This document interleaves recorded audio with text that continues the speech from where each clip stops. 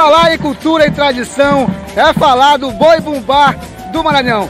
Com mais de 120 anos de história, está mais uma vez aqui na comunidade de Maranhãozinho, fortalecendo e revivendo a cultura marapaniense. Boi sempre na fama de Maranhãozinho, tem praticamente 127 anos, está aqui mais uma vez fazendo a alegria e a diversão de todos que aqui estão presentes, não só em Marapani, como nas demais cidades vizinhas. E você, claro, vai acompanhar todos os detalhes do encerramento do Boi Bumbá aqui no seu jornal Diário da Notícia. Tambores estão soando, anunciando festa boi. Guerreiros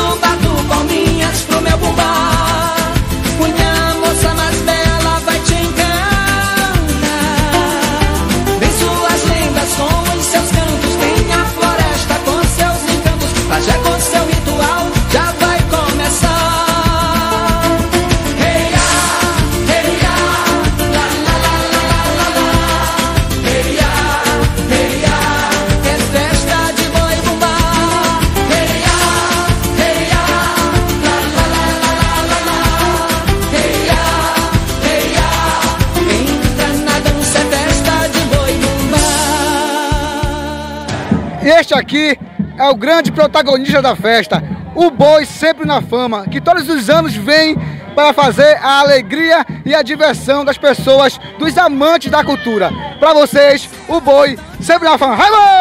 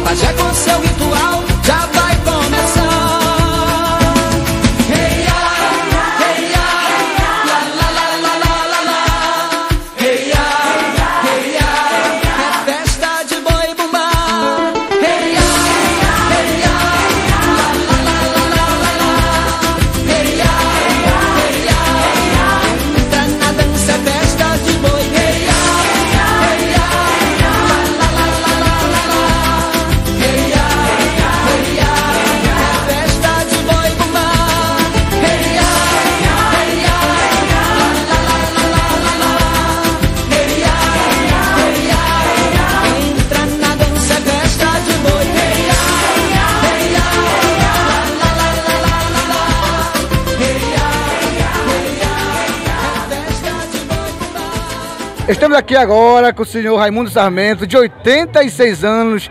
Conta aí, ele que é artesão e faz o Boi Sempre na Fama. Conta aí um pouco da história, como o senhor fez o Boi Sempre na Fama.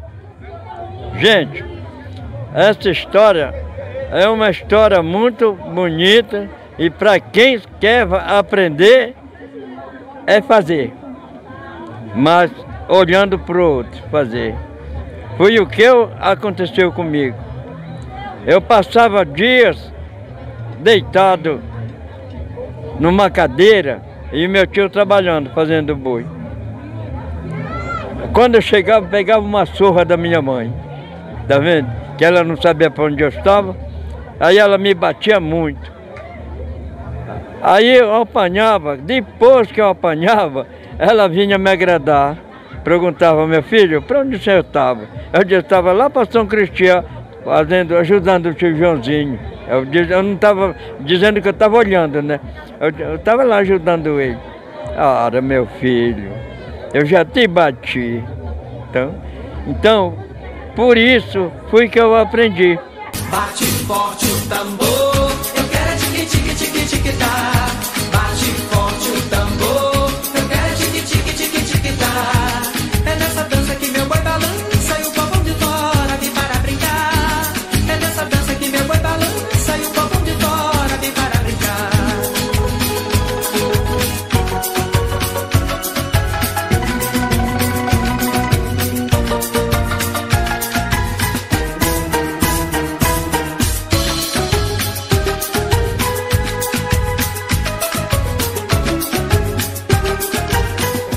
Quem está aqui com a gente agora é o Mestre Curió, um dos coordenadores aqui do Boi Sempre na Fama. Conta um pouquinho aí dessa grande história que é do Boi Sempre na Fama.